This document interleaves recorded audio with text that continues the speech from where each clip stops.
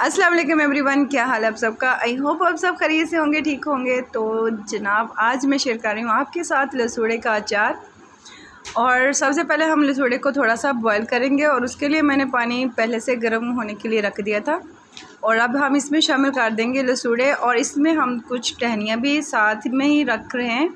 क्योंकि अगर वो टहनियाँ भी रिमूव कर दें तो ये फिर ख़राब हो जाते हैं, इनके अंदर पानी चला जाता है। तो इनको हमने बॉईल कर लिया है। अब हम इसको थोड़ा सा हला लेंगे और इनको है जो वो निकाल लेंगे। और लसूड़े निकाल के हम इसे करेंगे ड्राई और यहाँ मैंने किचन टावल लिया है। इसके ऊपर मैंने इसे फैला दिया है ताकि ये अच्छे से खुश्क हो जाए और इनका पानी बिल्कुल है जो वो ड्राई करना है।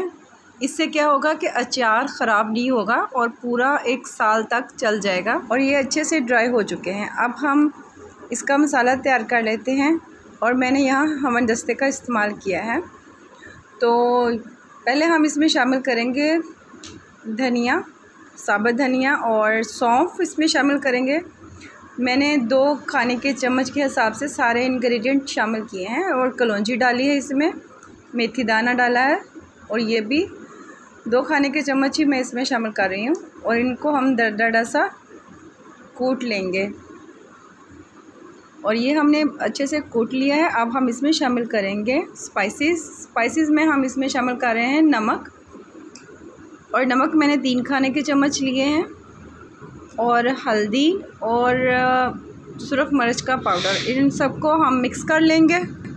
तो मसाला हमारा हो गया है तैयार तो अब हम इसे शिफ्ट कर देते हैं। उस बर्तन में जहाँ हमने अचार डालना है तो मैं यहाँ बाउल में अचार बना रही हूँ तो इसी में हम शामिल कर देंगे मस्टर्ड ऑयल और इनको भी हम मिक्स कर लेंगे।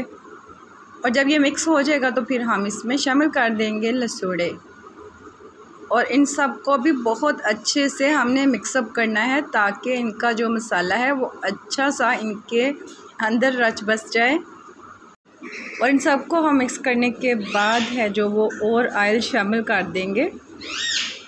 और इतना आयल शामिल करना है कि बिल्कुल इनके ऊपर तक आ जाए।